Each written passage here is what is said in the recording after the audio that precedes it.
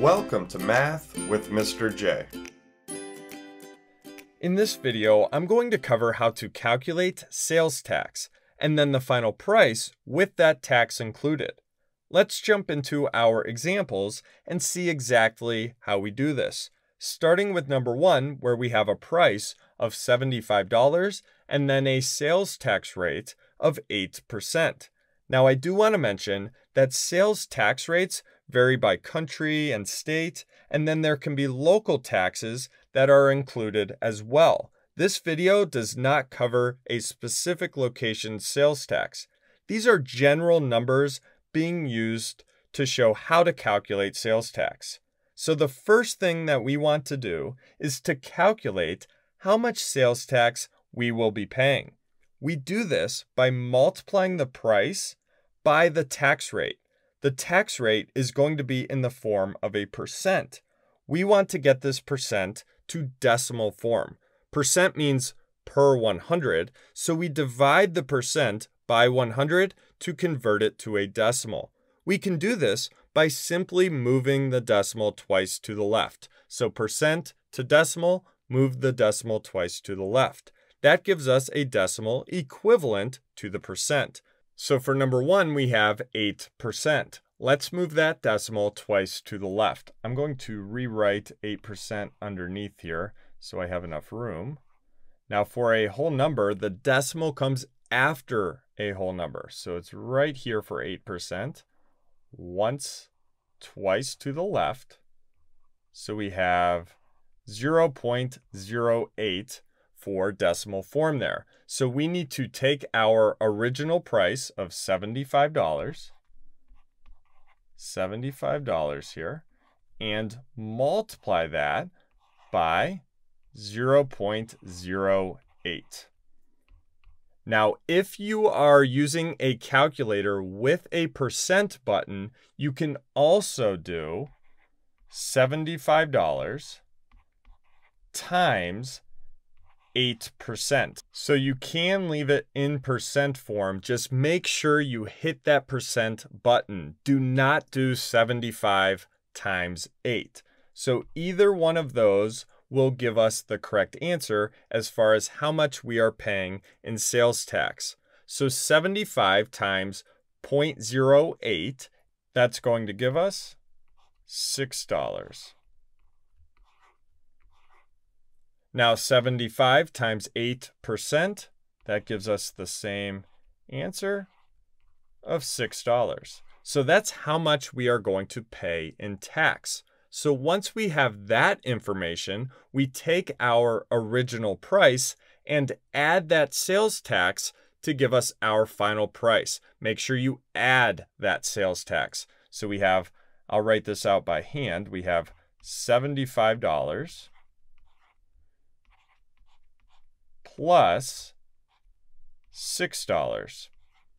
So that's going to give us a total price with tax included of $81.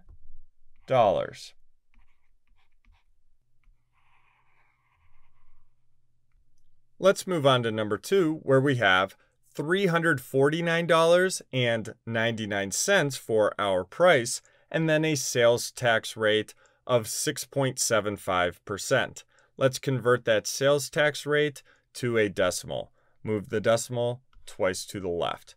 So I'm going to rewrite this underneath here so we have enough room. And move it once, twice. So we have 0.0675 for our decimal. So let's multiply that by our original price of $349.99. Decimal form of 0.0675.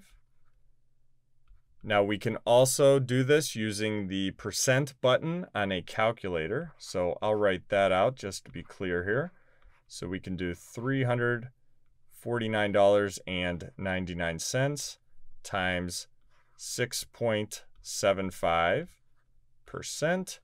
And these are both going to give us the correct answer of now for this one, we get a fairly long decimal. So 6, 2, 4, 3, 2, 5. I'll write that out for both here. Now we are working with money, so money always goes to the hundredths place. So if you get a long decimal like this, we round to the hundredths place.